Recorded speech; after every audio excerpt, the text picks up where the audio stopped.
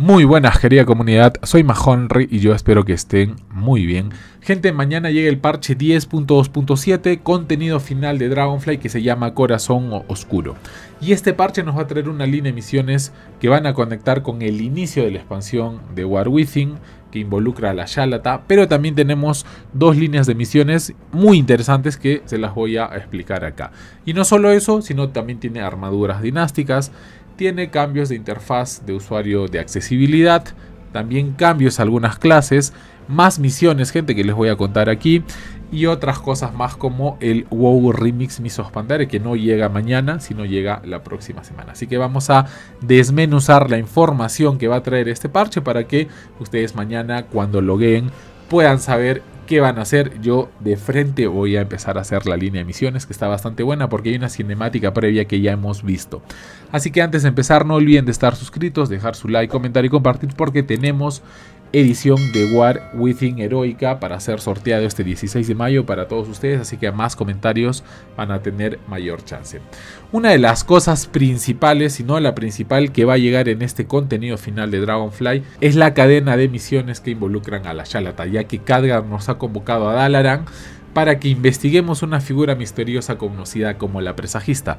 Todos sabemos que es la Shalata, ella tiene en su poder una poderosa reliquia que se llama Corazón Oscuro y también se va a ver involucrada Aleria Brisa Veloz para que de su punto de vista sabemos que ella sabe muy bien de las artes del vacío ya que en la expansión de Legión, en el parche final, vimos toda una cadena de misiones de cómo ella sabe muy muy bien estas artes y por eso la vamos a necesitar ahora todo hace pensar gente de que va a ocurrir algo muy importante y muy interesante porque esta línea de misiones nos va a conectar con The War Within. Así que hay algo de misterio por ahí y lo vamos a ver mañana gente.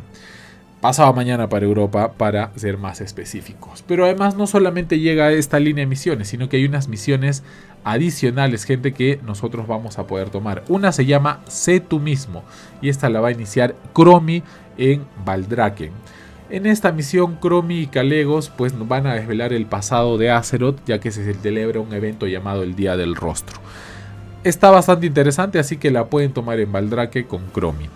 Además, también llega una misión que se llama Los Pecados de la Hermana, y esta la vamos a poder iniciar hablando con Malfurión Tempestira en Luna de Belamet, que es una nueva zona que ya sabe que están los elfos de la noche. Y aquí, pues una elfa va a llegar a Belamet para dar sepultura a su familia, la familia que perdió en Teldrassil. Así que estas dos misiones adicionales que no están en la estructura medular eh, del, corazón, del corazón oscuro del parche 10.2.7, sino que son misiones y historia adicional, gente, que vamos a poder desarrollar. Así que no se olviden de tomarlas, pero si no, mañana yo voy a estar haciendo algún video realizando estas misiones. ¿Qué más tenemos además de lore, gente? Pues vamos a tener armaduras dinásticas para Thrall y para Draenei. ¿Qué pasa con estas dos clases? Prerequisito, ojo, tienen que ser mayor de nivel 50 para poder iniciar estas dos misiones. La primera para los Draenei se llama la llamada del artificiero y se va a tomar en Tormenta. La segunda, la misión se va a llamar el regreso a las Islas del Eco y se va a llamar y la van a tomar en Orgrimmar. Prerequisito muy importante, como dije, ser mayor de nivel 50 para obtener estas armaduras dinásticas que las de Draenei dejan mucho que desear, las de Troll están más o menos gente, pero bastante importante porque vamos a ver mucho más de las clases que jugamos. Este contenido llega mañana gente y si no han leveleado una de estas clases pues yo creo que lo pueden hacer ahora. Tener toda la colección de las armaduras dinásticas puede traer un logro mucho mayor, gente, y así vamos avanzando ya. Eh, se vienen ya, faltan muy pocas armaduras dinásticas para poder desbloquear dentro del juego. ¿Qué más vamos a tener el día de mañana, gente? Va a haber cambios a las clases como lo hay siempre, algunos ajustes pequeños. Y el evento de WoW Remix Misos Pandaria, para quien pregunta, no llega mañana, sino llega la próxima semana. Y es un evento para poder coleccionar muchas cosas de la Pandaria por tiempo limitado.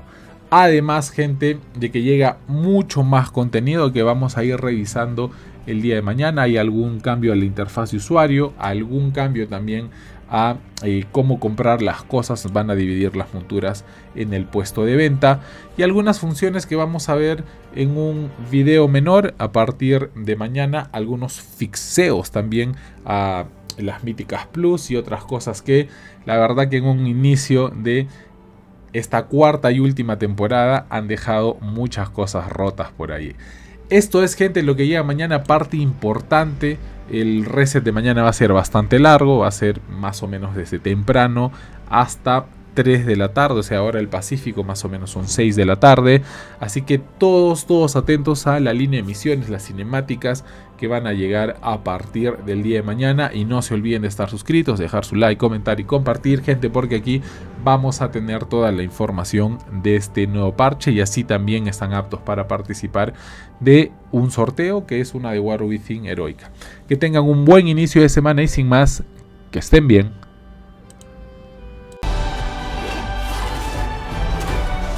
La verdadera pregunta es, ¿por qué cosas vale la pena luchar? ¡Por la alianza! ¡Por la horda! ¡Por Azeroth!